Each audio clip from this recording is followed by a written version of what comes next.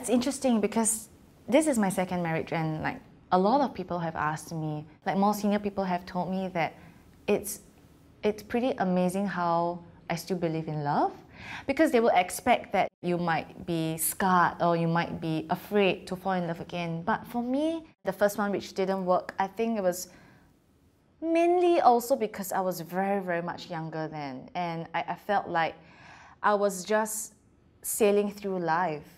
Like marriage was a natural progression because um, we were together already for a substantial number of years, like five, six years, and I thought, you know, okay, you know what, um, let's get married. Everything changed when we got married then, and so things didn't work out. It, it took a turn for the worse. So unfortunately, I had to let that, that part of my life go. I think that taught me a huge lesson to always be conscious and be present at every point in my life, to not just sail through life just because it is a natural progression the failure of my first marriage has never deterred me from loving again, from investing in someone again.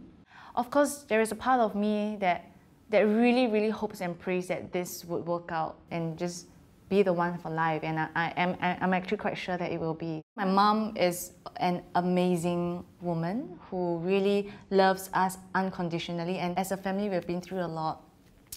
Um, from the days where we would have to squeeze together in a room and also when my mom had to work three jobs just to support us studying. And where she, when she had to give up her entire life savings just for me to start this business where you know, back then online shopping was unheard of, but she chose to believe in me. Even to now, my mom has showed us what unconditional love is. One trait which I dislike most about people is when they're impolite. This world could do a lot more with people with manners, people who are polite and people who are kinder to one another. A little compliment can really go a long way.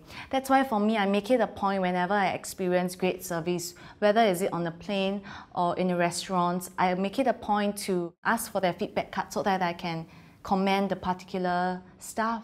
The biggest misconception about me that people I don't know what people really think about me. I, I, I honestly don't know. I've never been that afraid to show this um, louder side of me where I'm not so like gentle and not all that poised and sophisticated. I think these are words that you don't really associate with me. And on social media, you cannot really tell a person's character or demeanor. Maybe just they expect me to be more serious, but I, sometimes I'm not so serious and, and more energetic.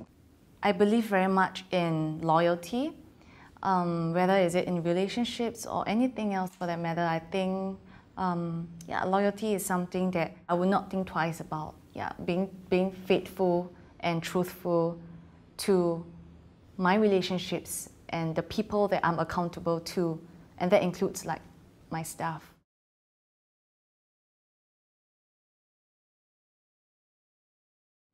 Well, I don't wear pajamas for sure. Neither do I wear like a sleeping dress. But for me, I just wear an oversized singlet with like kind of like short shorts, like workout shorts.